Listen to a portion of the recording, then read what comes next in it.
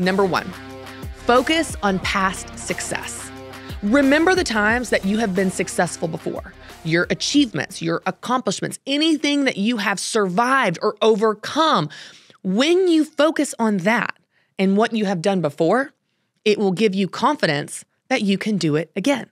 I can't tell you how many times I've been backstage before a big speaking event and I'm nervous. I'm either nervous because it's a really big crowd or there's a lot of pressure. The client wants something really, really particular, or I've got a pitch where I've got to really deliver this pitch, or there's something going on. This event is new, the audience is different. There's something that's making me really, really nervous.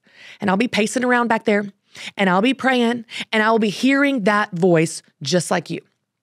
Who do you think you are? You can't do this. You're going to fall flat on your face. They're going to boo you right out of there. You're going to blow the pitch. The client is going to be so disappointed. This is never going to work. And when I'm standing back there and I hear those thoughts, I simply remember my past success. I focus on when I have done this before. Because if I've done this before, I can do it again. You've got proof You've got lived experience. When you remember what you have overcome before, what you have survived before, what you have accomplished before, it gives you this unbelievable confidence that guess what? You have done it before, and yes, you can do it again. So the imposter syndrome can't torment you with all the terrifying possibilities of what's going to happen if you do it, because guess what? You've done it. You have proof and you can fight back and remember your past success. That past success will give you the confidence that you've done it before and you can do it again. Hey, listen, I know that starting and growing a business can be really overwhelming.